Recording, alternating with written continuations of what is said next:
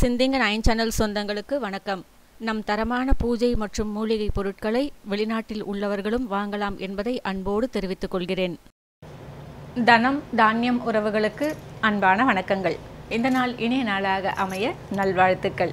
இன்னைக்கு நம்ம சேனல் மருத்துவ குறிப்பு பகுதியில் நிறைய பேருக்கு இரும்பு சத்து குறைபாடு அப்படின்றது சொல்லுவாங்க மருத்துவர்கள்.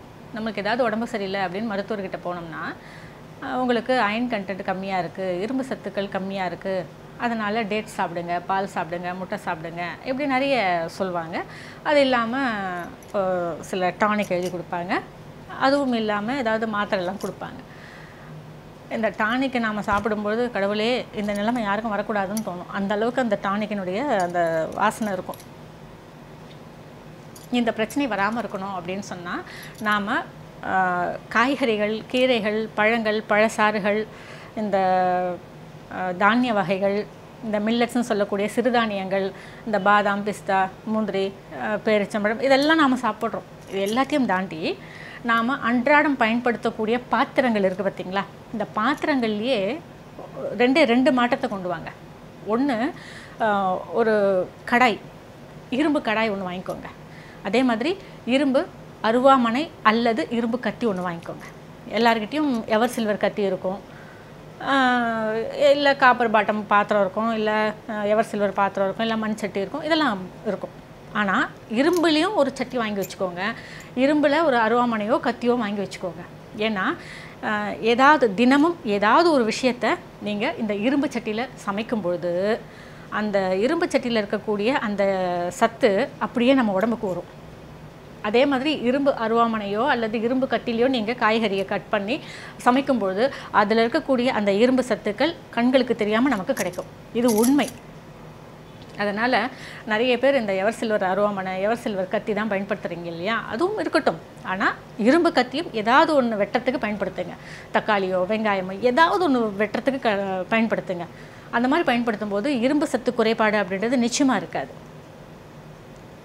ஏன்னா இரும்பு சத்து குறைபாடு வரும்போது இந்த கண்களில் கருவளையம் தலைமுடி கொட்டுறது அந்த பற்கள் கரையாகிறது உடம்பு அப்படின்றது இளைக்கிறது இதெல்லாம் இருக்கும். ஆனால் இந்த உள்ளுக்கு சாப்பிடக்கூடிய ஆகாரங்கள் நமக்கு ஒத்துழைச்சாலும் கூட நாம் பாத்திரங்கள் அப்படின்றதையும் கூட கொஞ்சம் கவனிக்கணும். இந்த நான்ஸ்டிக்லலாம் வந்து நீங்கள் சமைக்கும் பொழுது அது உடல் நல அசௌகரியத்தை தான் உங்களுக்கு தருமே தவிர அந்தளவுக்கு அந்த அளவுக்கு பாதுகாப்பானதும் கிடையாது. அதில் இருக்கக்கூடிய எனாமல்லாம் போயிடுச்சு அப்படின்னா அதை நம்ம பயன்படுத்தும் போது நமக்கு அது பாதிப்பை தான் உண்டாக்கும். அதனால் இந்த பதிவை பார்த்த பிறகு உடனே ஒரு இரும்பு கடாய் வாங்குங்க. அப்பளம் பொரிக்கிறீங்களா வத்தல் வறக்குறீங்களா? இல்லை ஏதாவது துவைகளுக்கு ஏதாவது பருப்பு வ வதக்க போகிறீங்களா அந்த இரும்பு சட்டியில் பண்ணுங்கள் ஏதாவது ஒன்று அந்த இரும்பு சட்டியில் பண்ணுங்கள் ரசம்லாம் தாளிச்சிடாதீங்க சரிங்களா? இந்த மாதிரி ஏதாவது காய் கூட்டு பொரியல் எல்லாம் பண்ணுறீங்க அப்படின்னா அந்த இரும்பு சட்டியில் பண்ணுங்கள் வாழைக்காய் சில விஷயங்கள்லாம் பண்ணக்கூடாது. வாழைக்காய் வாழைத்தண்டு இதெல்லாம் இரும்பு சட்டியில் போட்டிங்கன்னா கருத்து போடும் அந்த காய்கறிகள்லாம். அதனால் அதில் என்னென்ன சமைக்கணுமோ அதை நீங்கள் பக்குவமாக பார்த்து அதை சமைக்கணும். அதுவும் ஒரு கலை தானே. மண் சட்டியில் சமைக்கும்போது அது ஒரு வித சத்துக்கள் நமக்கு கிடைக்குது ஒரு சுவை கிடைக்குது அப்படின்னா இந்த இரும்பு சட்டியில் பண்ணும்போது இரும்பு கடாயை பயன்படுத்தும் போது அதில் இருக்கக்கூடிய சத்துக்களும் நமக்கு கிடைக்கும். இதுவும் உண்மை சரிங்களா? அதே மாதிரி இரும்பு இந்த சம்மந்தப்பட்ட இந்த பாத்திரங்கள்லாம் வந்து நீங்கள் விளக்கி கவுத்து வச்சிட்டிங்க அப்படின்னா மறுபடியும் பயன்படுத்தும் போது நல்லா விளக்கிட்டு நல்லா தொடச்சிட்டு அதுக்கப்புறம் பயன்படுத்துங்க. ஏன்னா நீங்கள் தினந்தோறும் இரும்பு சட்டியை பயன்படுத்தினாலும் அதை விளக்கி கவுத்து வச்சிங்கனாலும் மறுநாள் அதை எடுக்கும்போது மேலே ஒரு ரஸ்ட் இருக்க மாதிரி இருக்கும். அதை அப்படியே நம்ம தொடச்சிட்டு பயன்படுத்தக்கூடாது. நல்லா விளக்கிட்டு நீங்கள் பயன்படுத்துனீங்கன்னா நல்ல ஒரு முழுமையான ஆரோக்கியம் உங்களுக்கு கிடைக்கும். இரும்பு சத்து குறைபாடு அப்படின்றதே நம்மளுடைய குடும்பத்துக்கே வராது. சரிங்களா?